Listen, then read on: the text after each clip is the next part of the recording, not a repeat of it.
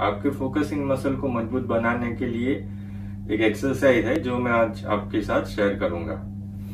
वो एक्सरसाइज सिर्फ़ हर रोज सुबह ही करना है, शाम को नहीं करना है, क्योंकि शाम को मसल थके हुए होते हैं। मॉर्निंग में आप एक पेन लीजिए। पहले आप एकदम डिस्टेंट नज़र डालिए, दूरी पे। उसके बाद आप पेन की टिप पे नज़र डालिए। वो टिप को आप धीरे धीरे धीरे धीरे नज़दीक लाइए।